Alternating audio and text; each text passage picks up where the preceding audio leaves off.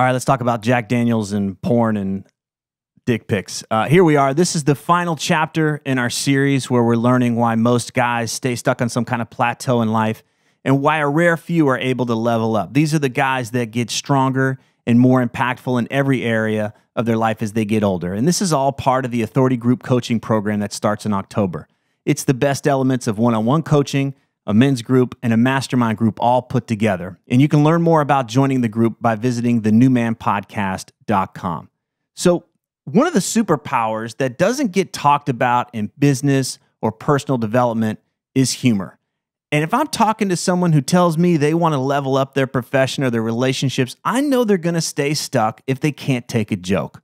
These are the guys that believe they can't have any fun until they've reached their goal. They're rigid in their thinking, which in turn makes them fragile. They believe that if they have any fun, they're going to fall behind. And instead of having fun, they spend their time being defensive and offended.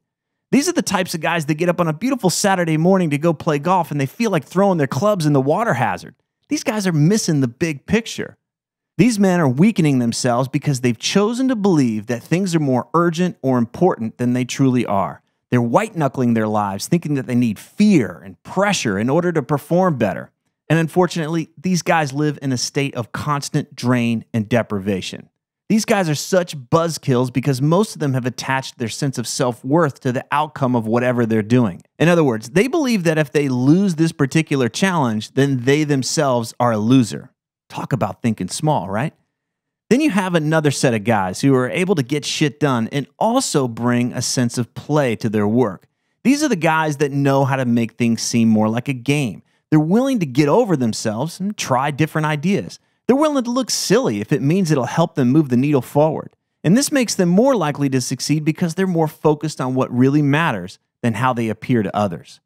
Because these guys are willing to experiment, they're able to get out of their own way. They're flexible and able to course correct quicker.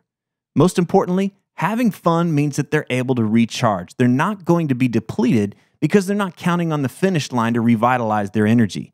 They've learned how to stay rejuvenated while they move forward.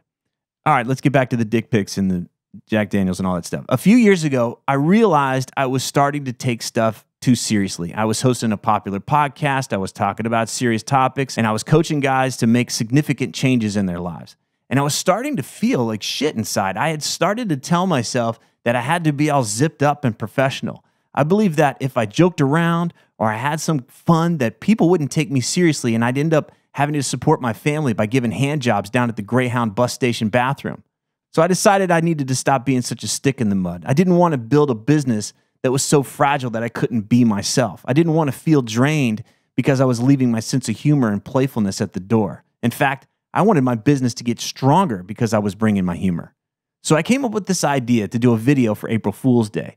And the concept for the video was that my computer's internal video camera had been hacked and I would be exposed as a terrible, awful coach. And people would see that I was coaching guys like Brett Favre or Anthony Weiner to send dick pics to women. They'd see that I was drinking Jack Daniels and watching porn while coaching clients through emotionally trying situations.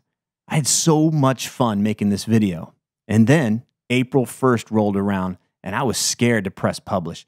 Personal development was supposed to be mature and serious and respectful. What the hell was I thinking? Would anyone want to work with me after seeing these images of me being a total tool? I was scared, but I published it anyway. It turns out the video was a hit and it's made me more powerful in several ways. First, it kicked down the door for me to be playful and have fun in my work. This keeps me energized and inspired. It helps me deliver more value, and that's huge. Second, the videos polarize the people that are interested in working with me. Guys that can't take a joke and have a stick up their ass, they hit the road when they see that video. Guys that want to level up and have more fun in the process find that they can connect and trust me more. In fact, last year, there was a guy who was on the fence about making the big commitment to join the Authority Coaching Group. He told me that before he mailed the check, he went online looking for reviews. He wanted reassurance that this was the right step for him. He said he Googled around and he ended up finding my April Fool's video and then he laughed his ass off and he felt a huge relief knowing that I was the right coach for him. As part of the Authority Coaching Group, we make humor and play a key component of our work. What good is success if we can't enjoy creating? What good is success if it just makes us more rigid and drained?